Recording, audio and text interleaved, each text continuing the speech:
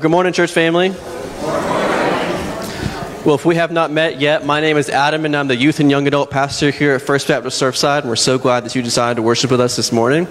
Um, if you happen to be a guest with us this morning, we'd love it if you'd fill out one of the Connect cards. Uh, there should be one in the seat back in front of you, and you can do one of two things with that card. Either you can drop it off in the offering plate when it comes by, or on your way out after the service, to your left, there's a connect wall, and there should be someone there who wants to greet you and take that card from you in exchange for a free gift, just to say thanks for coming to worship with us. And uh, they can also answer any questions you might have about our church family. A few announcements this morning. Uh, first, so our Surfside Community Ministries, that's kind of an umbrella uh, that covers a few different things. And so first, uh, our food bank is coming up in less than two weeks. Uh, and we want to have plenty of goods to give away to those who need it. So uh, if you want to donate some non perishables, uh, you see the list there on the screen.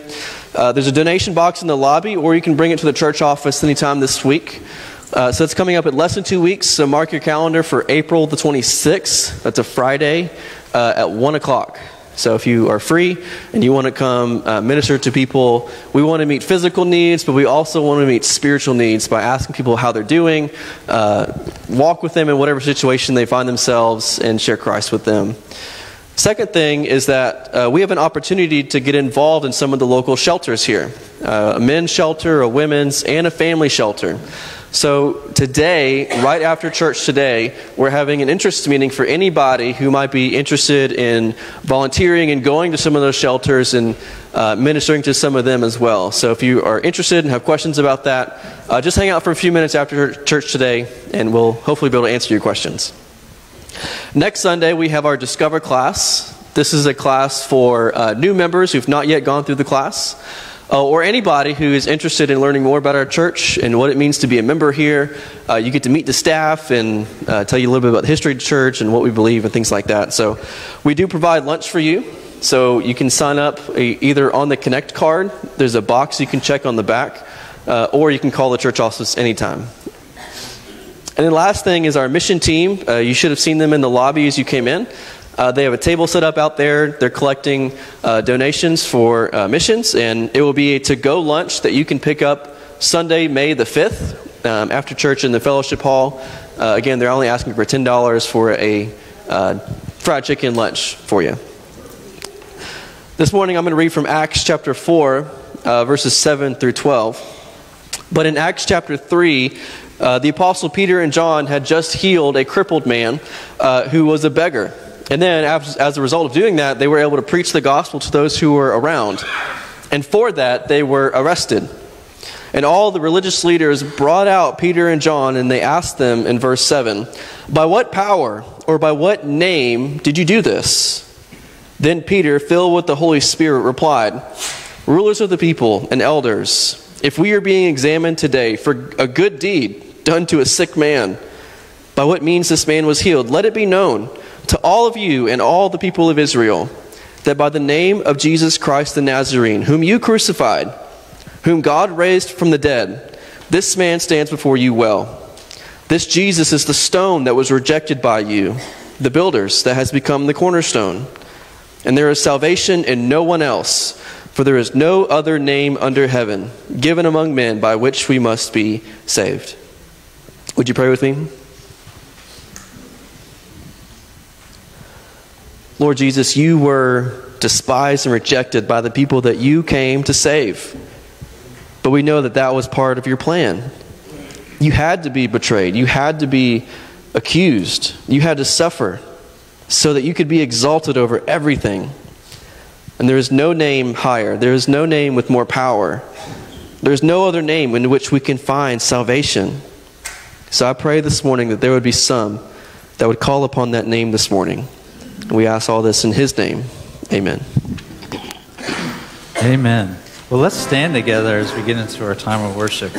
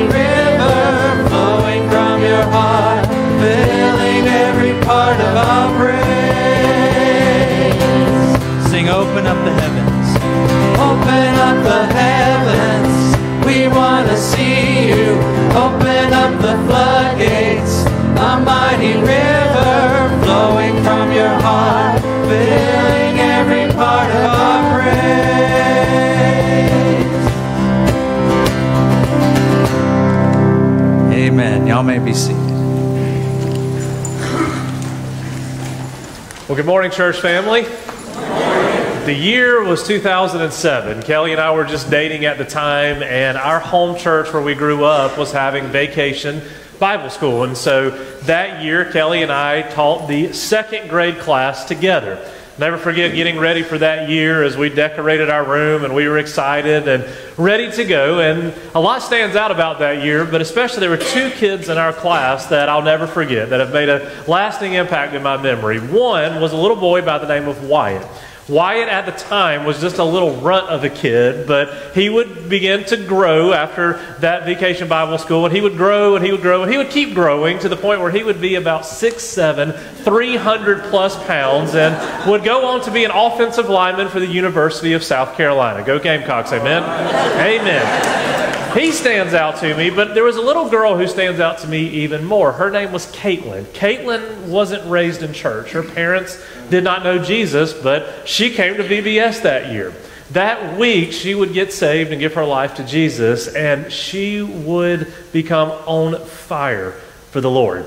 That week, she would go home and tell her parents, We're going to church. They, as a family, her and her sister and parents started coming to church, and as a result, the entire family would end up giving their life to Christ. And so I say that as a way of simply saying Vacation Bible School to me is a very essential week in the life of our church. And I believe any church that doesn't emphasize it greatly is missing an incredible opportunity to love this community, children, but also entire families for the gospel of Jesus Christ. Now, I know it's only two months away, and it seems like we've still got a long time, but we're gearing up June 9th through the 13th, the Great Jungle Journey. We have a quick video, and then I'll share a little more details after that. Guys, if you show that video. It's a jungle out there. Every day, our kids encounter questions about their faith. Did God create everything? Was Noah's Ark real? Why do I need to be saved? Can I really trust the Bible? At the Great Jungle Journey, kids will explore the answers to these questions and more as they embark on an epic adventure from Genesis to Revelation. As your children sail along on a fun jungle cruise, they'll stop at seven ports of call, the seven seas of history. Creation, corruption, catastrophe, confusion, Christ, cross, and consummation. Kids will discover how these events shape our world, and they will realize their need for a savior as they reconnect the Bible to their everyday lives. Prepare to swing into fun on the Great Jungle Journey. Did you hear the questions? Every single day, our kids and teenagers are bombarded with questions that cause them to question the reliability and the relevance of their Bibles. And they're bombarded with these questions every single day. It is our responsibility as a church, as an entire church, to invest in the next generation so that they might know that the Word of God is both reliable, they can trust it, and it's relevant, meaning that it speaks to every single area of their lives. And I am convinced Vacation Bible School, yes, it is a ministry focused towards children. But I am convinced it impacts entire families, and therefore, in my opinion, it is an entire church ministry. Today, I am putting out the request to begin praying for Vacation Bible School and also to begin signing up to serve. Uh, last year, if I remember correctly, we had about 115 children that came to our VBS throughout the week. And to support that, we had roughly 90 volunteers to make that a reality. Folks, that is amazing. I've told many different pastors and church leaders that number, and they are utterly blown away by the response of our church to make Vacation Bible School a reality. And so today, let me just ask you take out your phones. I'm giving you permission to play on your phone during church, okay? Take out your phone. Go to firstfbcsurfside.org slash events. You can do that even during the service, even while I'm preaching. I'm okay with that, okay? Go there. There's two different links. Parents, go ahead and sign your children up so that we know how many to prepare for. But also, there is another link for serving. You click that, and you can see the ways that you can serve, and that'll automatically sign you up. And so, before this service is over, let me ask you to go ahead and do that so that we might impact the next generation for the sake of the gospel. Let's pray for Vacation Bible School, for our offering, and for what God is going to do during this service as our ushers come down to take our offering. Let's pray together. Jesus, we thank you. We thank you for so great of a salvation. Lord, we think about our lives and how, in and of ourselves, it seems like we are so insignificant. The Bible talks about us being a flower here today and gone tomorrow, just a vapor than the wind. But Lord, yet you know us. You love us. You care for us. And you sent your Son, Jesus, to redeem us out of the broken, sinful world in which we live. And so, Lord, we thank you. And for those of us who have received so great a salvation, now it is our responsibility not just to keep that to ourselves and build just our nice, comfortable country club church. Lord, we are now called to go into this world and make disciples, invest in the next generation. And so, God, I just pray as a church, you would just continue to shake us to our very foundation. Remind us why we are here. And Lord, I pray that through things like Vacation Bible School, Lord, we would make an impact in this area and in the next generation for the gospel.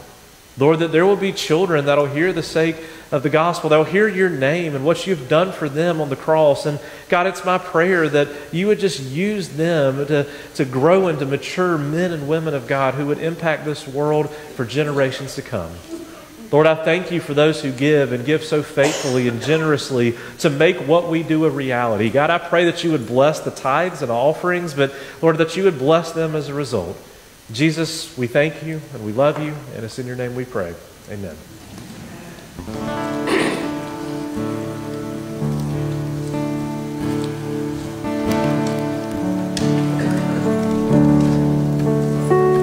A wonderful Savior is Jesus, my Lord. A wonderful Savior to me. He hideth my soul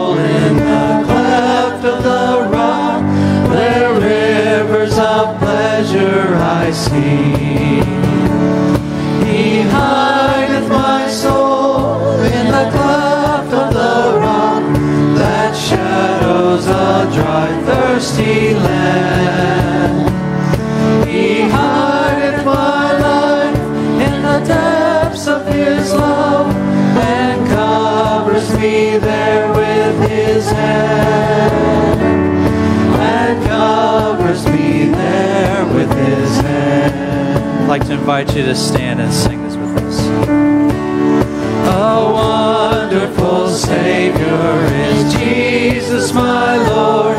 He taketh my burden away. He holdeth me up, and I shall not be moved. He giveth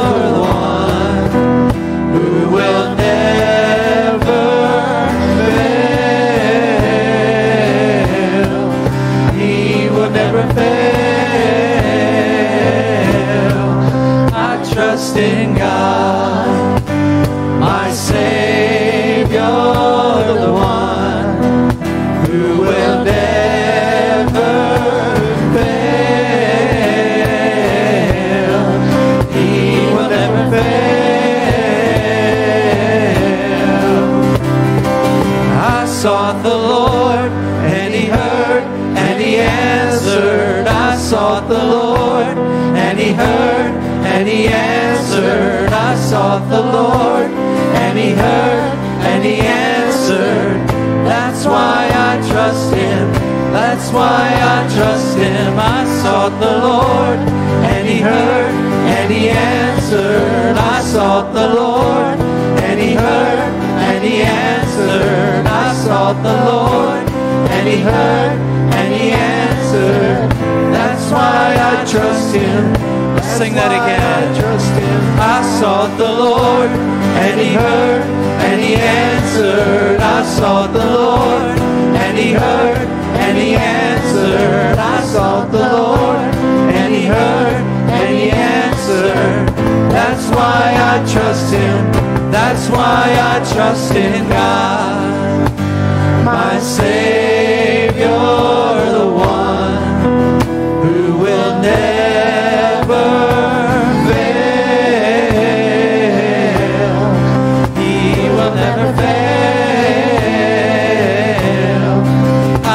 Trust in God, my Savior, the one who will never fail.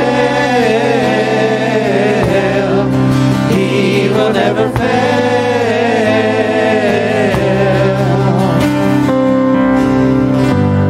And Father, we trust you because you've been so good, Lord, and how you've been faithful in all the events that have happened in our life. And when we seek your face and you answer us, and Lord, we thank you because you are a good God. So as we come to this time in our worship where Pastor Nathan comes and brings the message that you've laid on his heart, Lord, I pray that our hearts would be open to what you have to say, Lord, and that you would speak through him. And we give this time to you, Lord. We love you. It's in Jesus' name we pray. Amen.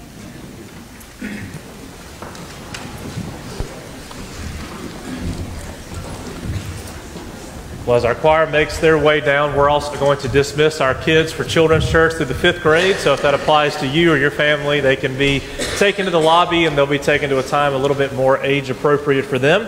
But today we are going to resume our exposition through the book of Genesis. We took two weeks off for Easter. We're going to get back into it today Genesis 10, 11 through Genesis, the whole chapter of Genesis chapter 10 into chapter 11, 1 through 9. Now, for the sake of time, we're not going to read all of chapter 10. So today we're just going to be reading chapter 11, 1 through 9. So if you have your Bibles, turn there with us. And today we have Sue Winter that's going to come and read our passage for us.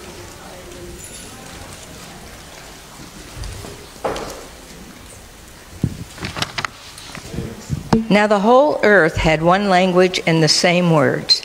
And as people migrated from the east, they found a plain in the land of Shinar and settled there. And they said to one another, Come, let us make bricks and burn them thoroughly. And they had brick for stone and bitumen for mortar.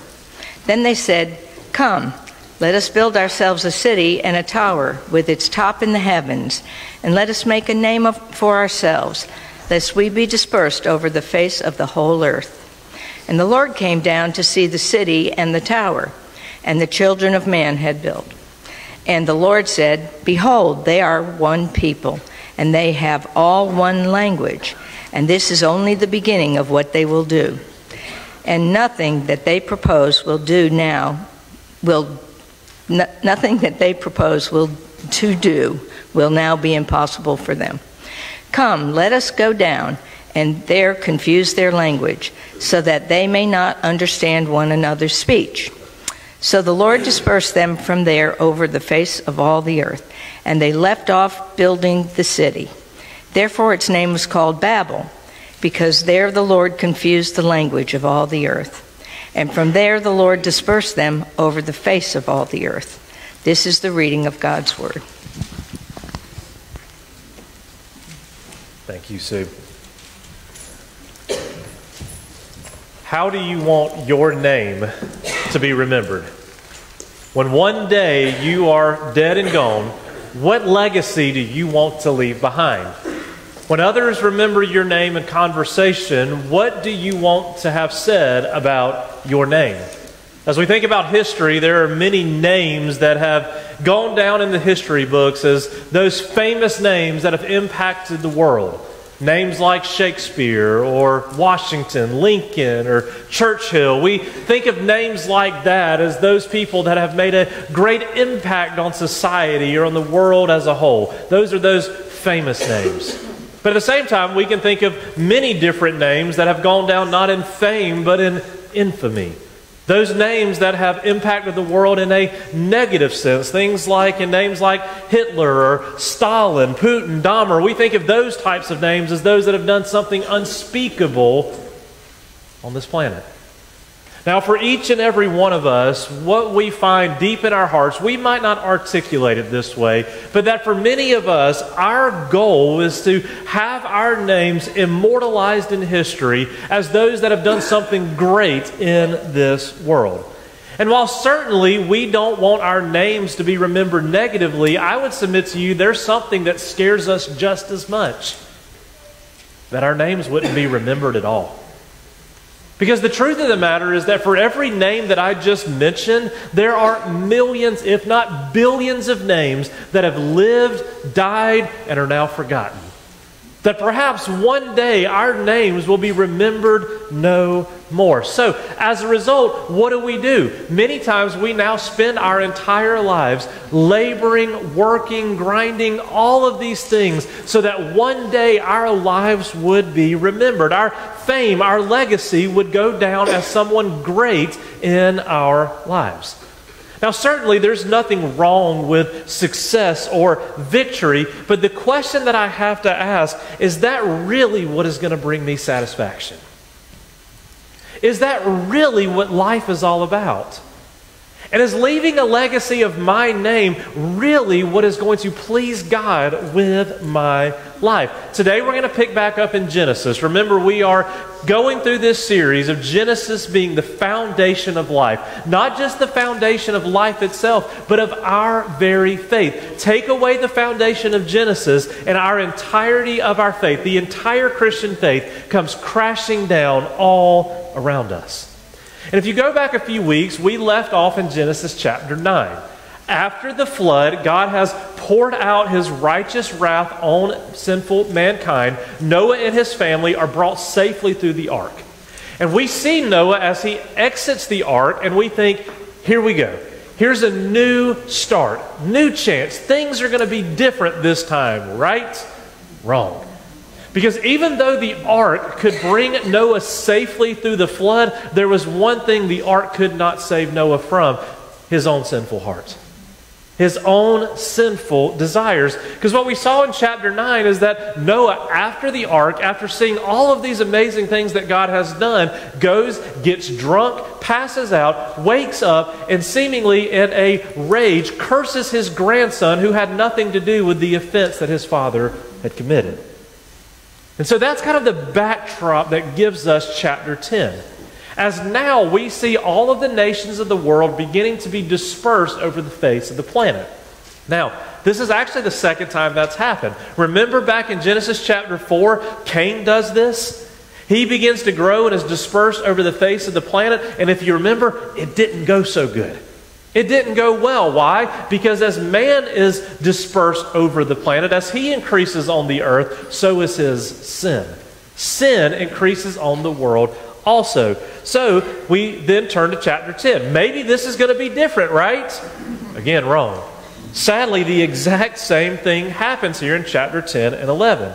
As mankind spreads, so does their heart of pride as they seek to build a name, not for the name of God, but a name for themselves. But as we read this, this is what becomes quickly apparent to me is that that same heart of pride and rebellion that beat in them beats in me today. And I have to be careful of living a life only for myself and stealing the glory that is only due the name that is in the name above all names. So, what we're going to do is we're going to compare and contrast our name, the name of God, and then ask the question which name will be remembered. So, with that said, let's look first at the name of man. So, guys in the booth, I don't have my iPad, it's not working, so all on you today, okay? So, first point the name of man. We did not read chapter 10 because of time. But what we see in chapter 10 is the genealogy. And again, we're not going to read it, but I do want to point out some important parts of it because it paints a picture that helps us as we go into chapter 11. Let's be honest. Our Bible reading plans go really well until we hit things like chapter 10. Then we scheme over the genealogies as fast as we possibly can. To our modern minds, it just sounds like a mismatch of names that have absolutely no relevance on our life at all. I want to submit to you that that could not be further from the truth. Actually, what we find here in chapter 10 is the family tree, not just of Noah's three sons, but the entirety of mankind. I want you to stop in just a minute and realize that every single person that is in this room and that has ever lived since Genesis 10 can ultimately trace your heritage back to Genesis 10.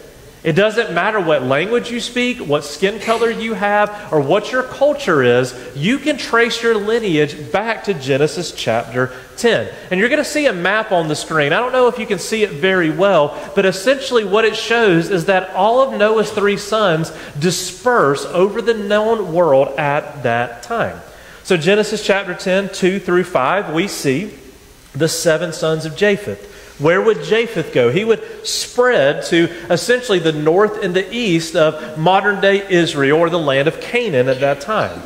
Genesis 10, 6 through 20, we see the four sons of Ham. Ham's descendants would spread to kind of northeast Africa, Egypt, but also into the land of Canaan, the land of Israel, which, by the way, is still being fought of right this moment. It is the land of Israel. Then in verses 21 through 31, we see the five sons of Shem, which would go on to make up the Shemite people or the Semite people, the Jewish people that would come as a result of Shem. Now, there's a lot of names there, but perhaps one of the most notable names is that Moses, as he is writing, slows down and emphasizes a man in verses 8 through 12 by the name of Nimrod.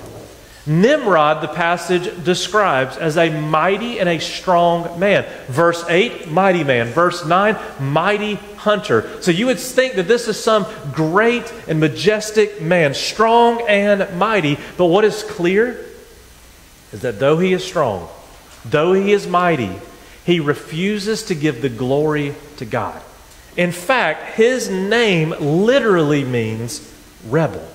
And what we see is that his legacy, his offspring, would be those who would stand in opposition to God. In fact, later in Micah chapter 5, verse 6, we see described the nation of Assyria, whose capital was Nineveh who Jonah went and preached the gospel to, that wicked and evil city. In Micah 5 6, it is described as the land of Nimrod. So his lineage, his name would be one of rebellion and opposition towards God. And it seems as though Nimrod is the force or the power behind Babel. Because it sees there in verse 10 that his people would travel east to the land of Shinar. And Shinar would be where the city was built, where the Tower of Babel would be constructed. So, with all of that in mind, now we can turn our attention to chapter 11 and see what the people of Nimrod would do in the land of Shinar. Look with me at verse 1. You'll see it on the screen as well, but let's look at verse 1. It says this Now the whole earth had one language and the same words. And as people migrated from the east, they found a plain in the land of Shinar and settled there. Now, go back to Genesis 9. Genesis 9 1, we saw God reestablish the command to go and be fruitful and multiply and fill the earth. Now, at first, it seems like mankind is doing a pretty good job with that until we get right here. They get to the land of Shinar, and instead of being fruitful, multiplying, and spreading out, they stop. They build a city. In the middle of that city, as its focal point, was to be this large and great tower. Now, let's be clear. The problem here not, is not necessarily the city or the tower itself. The problem here is not building large cities or skyscrapers or a nice home. That's not what is condemned here. The issue is not the tower, the issue is the hearts behind it. Because notice what it says in verse 4. It says, Then they said, Come, let us build ourselves a city and a tower with its top in the heavens. And let us make a name for ourselves, lest we be dispersed over the face of the whole earth. Now, what this does not mean is that this tower literally reached into heaven, as though that was the presence of God. This simply is figurative language, meaning this was a really big tower. The idea was that when people would come to this city, they would see in the centerpiece, that focal point of the city would be this majestic, magnificent tower. Now, think about it. To this point, mankind would look to God's creation and give God glory. Now mankind wants others to look at his tower and give him the glory. You see, this tower was to distract mankind from the creator to the creation, into man himself. They were to look at this city, look at this tower, and stand in amazement by the ingenuity of this great city, this great tower. You see, they built this city so that they would not have to be dispersed and scattered, but that they could have security in their own name. They built this tower to make a great name for themselves so that would, we would remember them and not God. One author says it this way The Babel enterprise is all about human independence and self sufficiency apart from God. The builders believed that they had no need of God. You see their heart clearly in verse 4. Who were they building this tower for? To make a name, not for the name of God, but a name for themselves. It was all for them and their glory. We see the same thing in Daniel chapter 4. We see King Nebuchadnezzar as he is on the rooftops and he is looking out over his kingdom, the land of Babylon, where we get the name from Babylon. He's looking out over that kingdom and he says, quote, Is not this great Babylon which I have built by my mighty power for the glory of my majesty? It was all about him and his great accomplishment. So the question that I have to ask is this again. I asked it at the beginning, I'm going to ask it now, and I'm going to ask it a few more times. What do you want your name to be remembered for? Who are you living your life for? When people remember your name a hundred years from now, if they remember it at all, what will be said? What ideas or thoughts will be remembered by your name? How much of your life is being poured out so that maybe one day your name might be remembered? Is your focus to be like Nimrod, a strong and a mighty man who is self sufficient on your own? Is your goal to be like the people of Babel, to have others look at your fame and your accomplishments and marvel at how great you are and what you have done in your life? Hear me well. There is nothing wrong with accomplishments, but here is the problem. If your entire life is spent to make a name for yourself, what happens 200 years from now when nobody even remembers your name? What kind of legacy is that? What does it mean when our entire life is poured out to get the trophy or to teach our children that life is about getting that trophy, but then 100 years from now, that trophy is going to be found in the dumpster? What about when our life is all about our fame and our accomplishment? Maybe one day we'll have some great accomplishment and our name will be put on a building to be remembered somewhere. But 500 years from now, that building is either going to be torn down or it's going to fall. No one is going to remember who you are or what you have done. You see, when it comes to building our own legacy, I want to submit to you that is a very poor legacy to leave behind. Beyond just a few, few names, a thousand years from now, nobody in this room will be remembered. I imagine the name of First Baptist Surfside will not be remembered either. It will be a footnote in the history books. You see, it comes down to this. We see the heart of pride. A lot of times we read the Old Testament and we think, how could they do that? I can't believe they would do something so foolish. But what I want to submit to you is that when you read the Old Testament, what you should see is yourself. Because, like them, we want to be immortalized in history so that others would remember our name as something great and as something powerful. But here's the problem we're pretending to be the king, but the real king is coming. I almost have this picture of my son Jason as he pretends sometime that he was king as he was much younger, and he would put on a robe and he would put on a fake crown and he would pretend to be the king. There's only one problem the real king is coming. The Bible says that he will share his throne, he will share his name and his glory with not one person. So we see the name of man. But secondly, what we're now going to see is the name of God. And let's compare and contrast those two realities.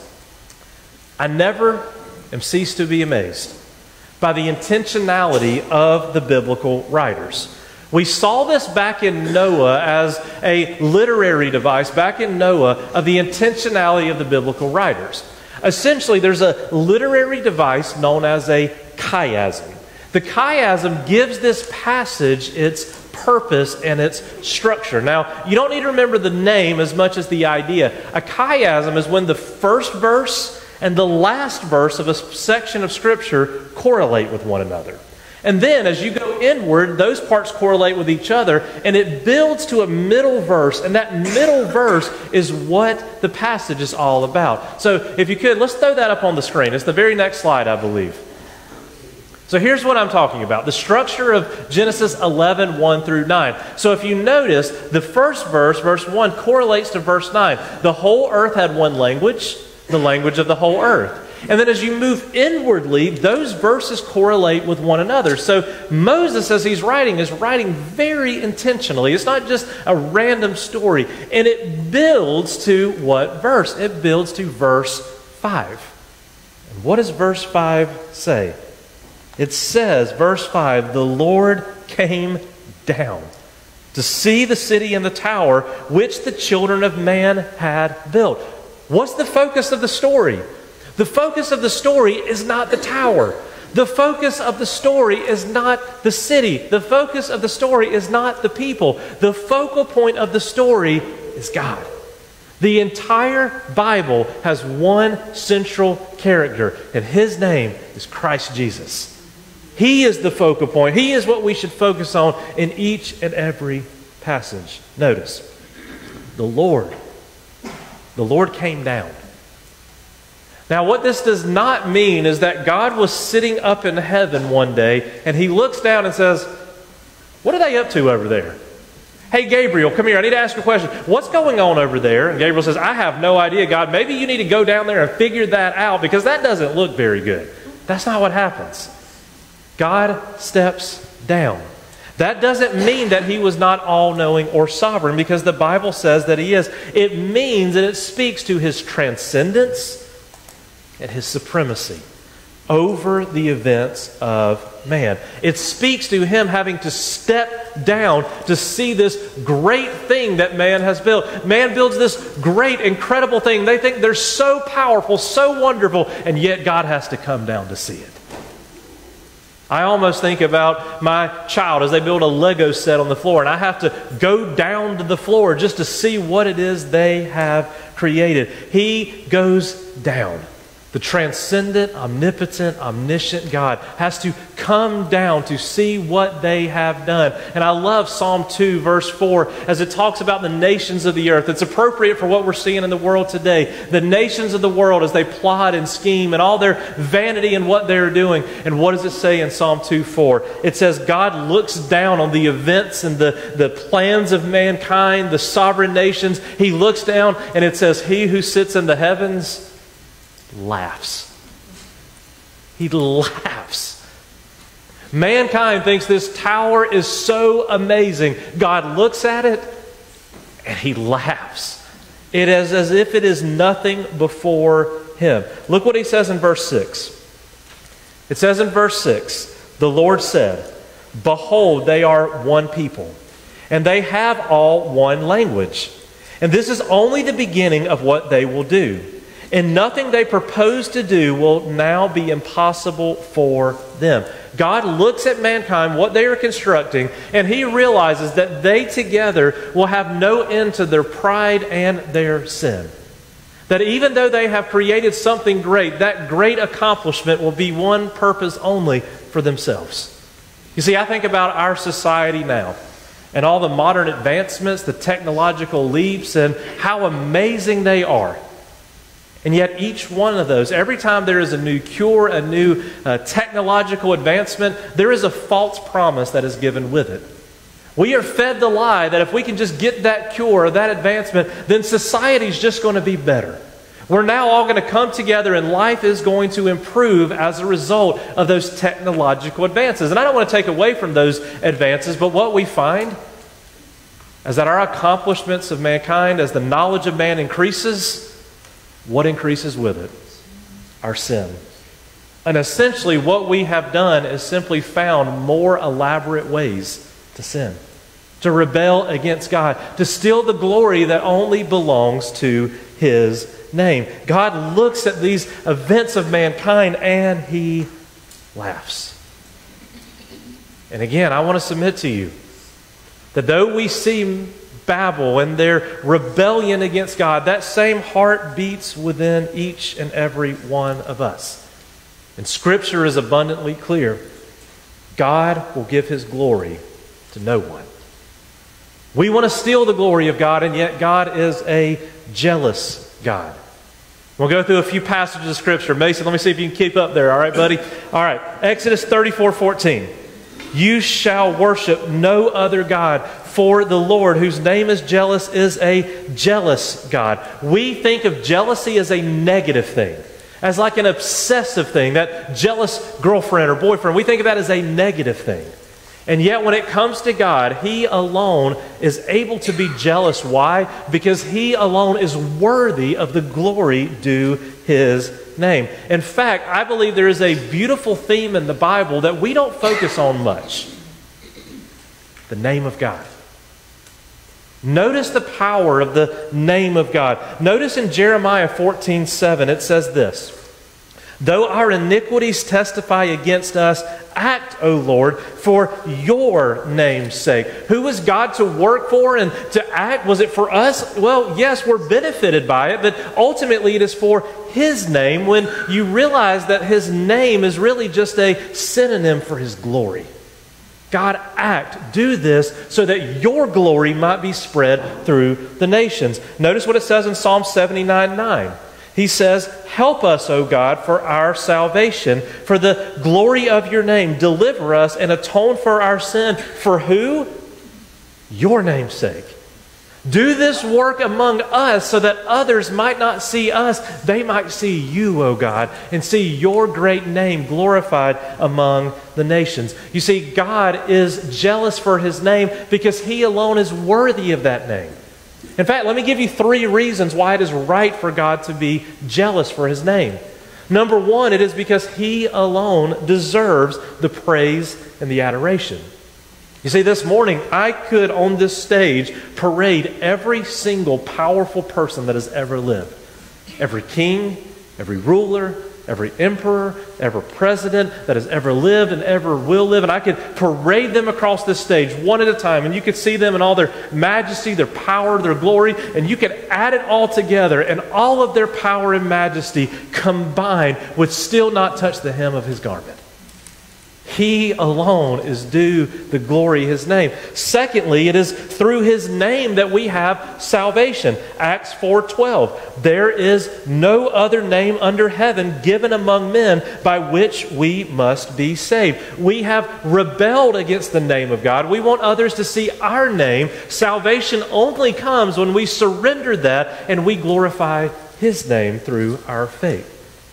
Third, it is through his name that we have healing power, protection. 1 Samuel 12 22. The Lord will not forsake his people for them, no, for his name's sake. Psalm 23 3, we read this at funerals of this good shepherd, and it says, He restores my soul. He leads me in paths of righteousness again. For who? For His name's sake. God is a jealous God, and He alone is worthy of the glory, the worship, the beauty of His name. You see, what Genesis has shown us so clearly, we've seen it through 11 chapters now that today, if we put our hope and trust in the name of man or woman, we are going to be disappointed. We're going to go into confusion. We are going to be hopeless. You see, that's an important question because the other question I have for you this morning is who are you trusting in? Which name are you putting your hope into? That's an important question, folks, because I don't know if you realize this. We have an election coming up. I don't know if you realize that, but 2024 is an election year. I don't know if you realize that. But over the course of this year, 2024, for the next seven months, you ad nauseam are going to hear two names. And those names are going to be presented time and time again as if they are the Savior of this country and the world. Now, hear me well. Elections matter. How we vote is important. However, Babel reminds us that if you put your ultimate hope in one of those two men, you are going to be greatly disappointed. There is only one name that is sovereign, one name that can save, and that name is not Biden, that name is not Trump, that name is Christ Jesus. And we need to be firm on that, folks. We have to be careful of trying to paint a person as though he is the Messiah, that he is the Savior of the world. Folks, I'll say this bluntly. I know I'm meddling, I'm probably into trouble for this, but I'm going to say it anyways. We've got to be careful of what we post on social media this year. We have to be very careful of painting people like Donald Trump in the same light as Jesus himself. Because let us be clear there is only one name by which we will save, one name that will stand into eternity. His name is Christ Jesus. And one day, every knee will bow, every tongue will confess. That includes Biden and Trump. Both of them one day will bow the knee and declare that Jesus, not themselves, is the King of Kings and the Lord of Lords. Who are you putting your hope into? So we see the name of man, we see the name of God. The last question, the third idea I see is this Whose name will be remembered? Let's see what God's reaction is. Notice in verse 7, he says, Come, let us go down and there confuse their language so that they may not understand one another's speech. So the Lord dispersed them from there over the face of all the earth, and they left off building the city. Therefore, its name was called Babel, because there the Lord confused the language of all the earth. And from there, the Lord dispersed them over the face of all the earth. So, in response to their united rebellion against Him, He comes, confuses their language, and spreads them over the face of the planet. God commanded, Be fruitful and multiply, spread off and fill the earth. They said no. And God says, Well, guess what? I'm going to do it anyways. Hear me well. God will always accomplish his purposes. The only question is, is are we going to be obedient to those purposes? God will accomplish his purpose with or without you, often in spite of you. God will always accomplish his purposes. Now, as we see this in the dispersion of languages over the face of the planet, here's what I want us to be careful of. This in no way implies that there is any one language or group of people or skin color that is the result of sin from this account. That's not what it's teaching at all. What we do need to take from this this morning is that any idea, any religion, any movement, any hope in men or women one day will always fall. One day, if you put your hope into a person, into a party, into a government, one day you are going to be woefully disappointed. You see, God comes and He scatters them over the face of the earth. But what I want you to see is that's not the end of the story. In fact, that just sets up really the next stage of human history as we see now, starting in chapter 11, verse 10. We're going to see this next week more. But the very next verse, there's hope. God disperses man over the face of the planet. The very next verse, there's hope. Because immediately after, we see Moses writing, pick back up on the descendants of Shem. Again, remember the Shemite or the Semite people. And what we're going to see is that through Shem, a man by the name of Abraham is going to come. And in Genesis 12, 2, God is going to come to Abraham and he is going to say to Abraham that he is going to make his name great. Babel came to make their name great, and God said, I have nothing to do with that. He's going to go to Abraham, someone who seemingly comes from nowhere, and he's going to say, Abraham, I'm going to make your name great. And what we're going to see is that through Abraham, his descendants, he would develop a nation, a people, a lighthouse, the people of Israel that were to be the light to the dark nations all around, that have been scattered all around. They were to be the ones that those nations could look back to and say, Man, how good is it to be the people of God? And yet, what do we see again? We see there's no salvation in man. We see there's ultimately no salvation in Israel. We see that even though Israel would walk with God for a time, they would still rebel against Him. It is a reminder again that man cannot save. And you see, that's what we are reminded of when we think about our salvation. You see, our salvation is not based our, on our works, on what we can do. It's not on the works of man. You see, what religion is, is when we build our tower of good works as though we are trying to get up to God. We are trying to build our way to heaven. But what we celebrate at Christmas time is that God, again, He came down here in the Tower of Babel. He came down again, but this time He walked among us. He clothed himself in human flesh. He came to die on the cross, the death that we deserve, so that we might live even though we do not deserve it. We might be made new and given everlasting life, not based on our works, but based on his work on the cross. The Bible says that it is that Jesus that would become the cornerstone. And that through Christ there would be built a new people a new nation, a new kingdom. 1 Peter 2 9 says is a new race, a new kingdom that would be called the church. The church. That God creates the church, not just this church, but the church of all people who have claimed the name of Christ to be his people on this earth. That would be brought from all the nations of the world to one new kingdom. For what purpose? What would be the purpose of the church? Again, would it just be to build some new and greater building? To some new and greater program so that people might know the name of First Baptist Surfside? Not at all. No, the Bible is clear. He brings us together as His people. Why? So that He can send us out and scatter us among the nations. Matthew 28 to go therefore and make disciples of all nations. Why? Romans 1 4. For the sake of His name among all the nations. So we are called to go and make disciples of all the nations so that God would create a new kingdom that would now be centered not on a tower but on a throne. He would be the center of that nation. And that is the task we have been given, church, is not to build our comfortable social country club, but to go in the nations and make disciples of all nations. And that's going to culminate in one of my favorite passages of Scripture.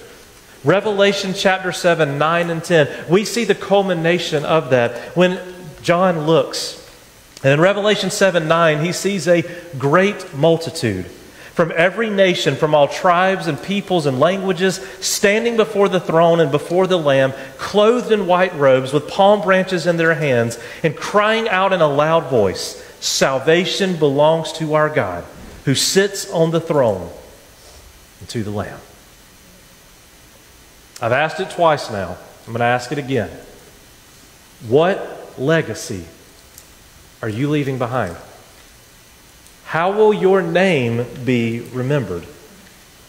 Today, I want to submit to you that if you are building your life all about your fame, your glory, your legacy, that that glory might shine for a moment, but it is a fading glory.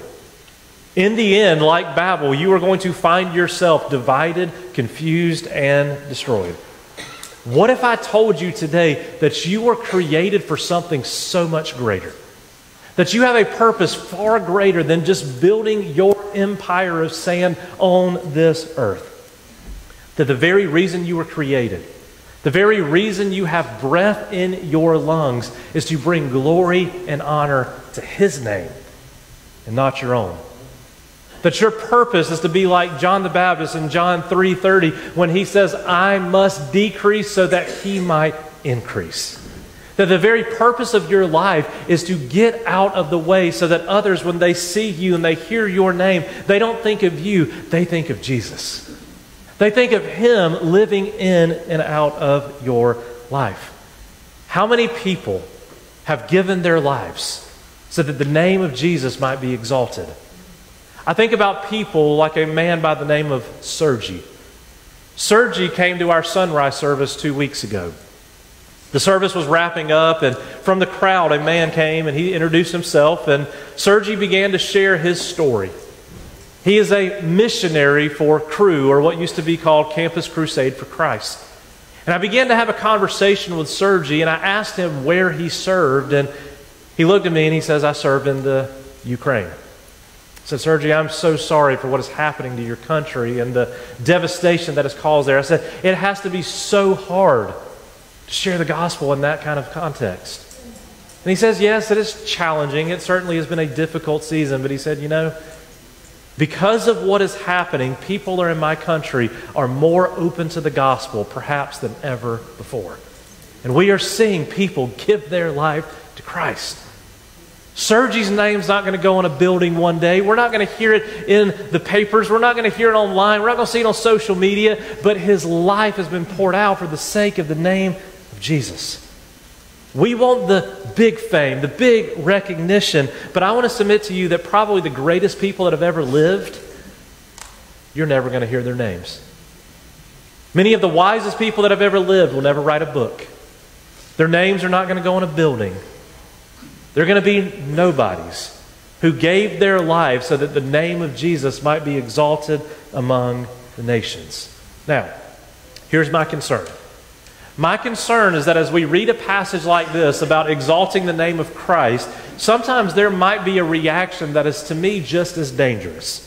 Because sometimes in the Christian life, we hear this and think, okay, well, now our reaction should be just to do nothing and not, not achieve great things and just kind of sit back in our lives. Notice, this passage doesn't tell us not to build towers, it tells us to build towers for the glory of God. You see, there's a teaching that I don't believe is biblical that, that we just need to sit back and not achieve anything great in our lives. Today, I would argue the opposite. If there's a young person in this room and you're wanting to know what to do with your life, I would tell you go and do the best you possibly can.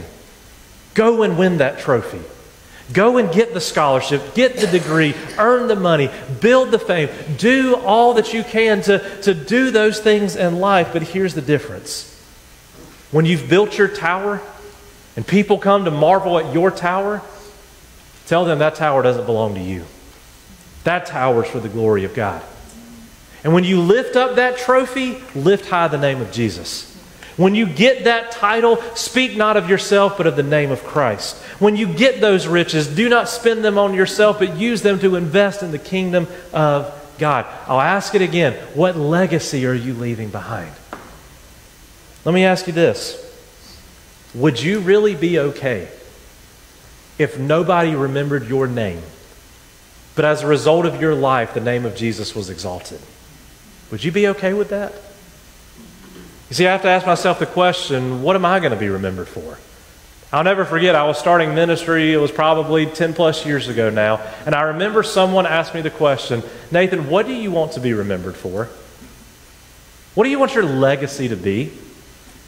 I thought about it for a moment and I answered similarly, but I would answer it this way 50 years from now, I likely will not be the pastor of this church. 50 years from now, I'm going to have my name written somewhere, probably in a book, that I was the pastor. Somebody's going to be thumbing through that book and they're going to come across Nathan Sweet. And I say, Who is that guy? They're going to call up somebody that maybe knew me some and say, Hey, who was that Nathan Sweet guy? Person I have, this image in my mind is going to laugh and they're going to say, Oh, that was that pastor. He was that young pastor who came in and just messed everything up. He was that pastor. He was young and he was dumb and he didn't listen to nobody. That was that pastor. That's what one person's going to say. This is what I pray is said. If nothing else, this is what I want said. I pray someone would say, Oh, yeah, he did a lot of dumb things. He made a lot of mistakes. But one thing was true he loved Jesus. And his very heart was that we would love Jesus too. Let me ask you will the same be true of you? Let's pray. Jesus, we thank you. We love you. And Lord, we thank you that your name is greater. Lord, forgive us for making it about ourselves. Our name, our business, our church, our school, Lord, forgive us for stealing your glory. Lord, I pray today that we would recognize that the only name that is eternal, the only name worthy of worship, is the name of Jesus. And Lord, I pray that a hundred years from now, when none of us are barely remembered, that the name of Jesus would be exalted as a result of our lives. Jesus, we thank you. We love you. And it's in your name I pray. Amen. I don't know how you need to respond today, but God does. Today we're going to stand and we're going to sing about the name of God. And as you do, let me challenge you to respond as only God would. Would you stand would you sing?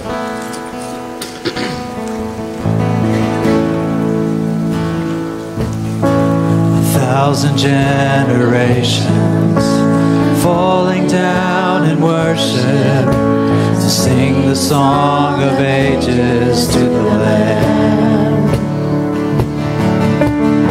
All who've gone before us, and all who will believe, will sing the song of ages to the Lamb.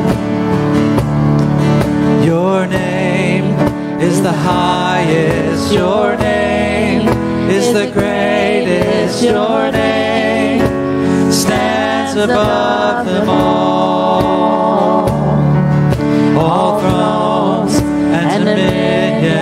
all powers and positions, your name stands above them all. And the angels cry,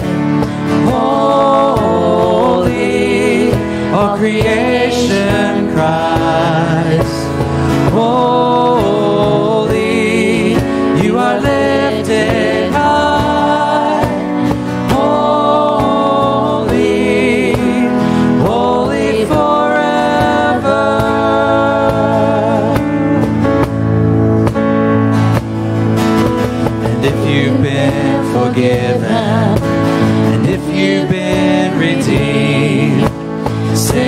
song forever to the Lamb.